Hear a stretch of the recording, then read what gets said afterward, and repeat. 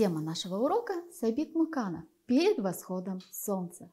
Сегодня на уроке ты познакомишься с произведением Сабита Муканова перед восходом солнца. Ты вспомнишь, как использовать поисковое чтение при работе с текстом. Ты узнаешь, как подбирать фотографии к произведению. Предлагаю тебе познакомиться с автором произведения, с казахстанским писателем Сабитом Мукановым. Сабита Муканова называют одним из аксакалов казахской литературы. Родился он в Кустанайской области, в семье батрака, поэтому о тяжелой жизни знал не понаслышке.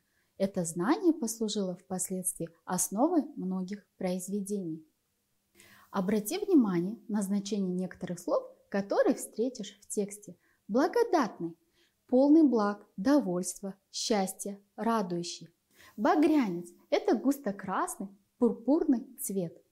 Свод – это криволинейное перекрытие, соединяющее стены, опоры какого-либо сооружения. Полыхать – светиться ярким и неровным светом. Радужный, имеющий цвета радуги, многоцветный.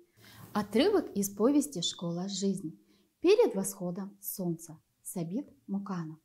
У каждого ребенка есть свое собственное королевство, свой необитаемый остров. Я был полноправным гражданином замечательной страны Жаман-Шубар и ни о какой иной даже не хотел и слышать. Я много раз встречал восход солнца в Жаман-Шубаре и до сих пор не могу его забыть. Если небо с ночи пасмурно, то низкие, тяжелые, влажные облака, беспокойные блуждающие всю ночь, проливаются на рассвете теплым благодатным дождем.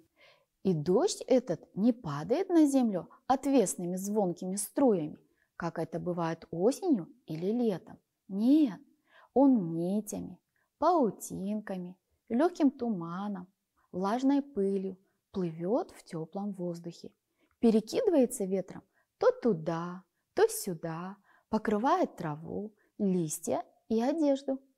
Подумай, как автор показал, что Жаман-Шубар – это замечательная страна.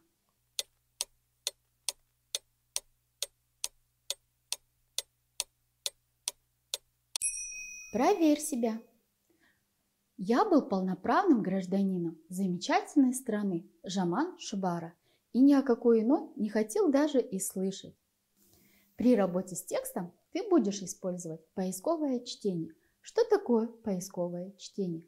Поисковое чтение – это чтение про себя, осуществляется в быстром или в очень быстром темпе. Способствует поиску необходимой информации. Подумай, как автор рассказал о ночи перед дождем.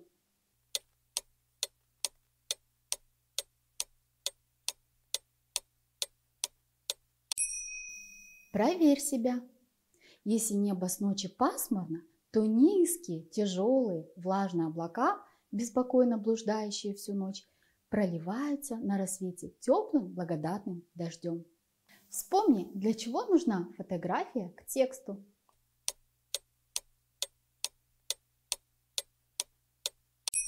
Проверь себя. Фотография значительно повышает внимание к тексту. Посмотри внимательно на слайд. Определи, какая фотография подходит к произведению Сабита Муканова под номером 1, 2 или 3.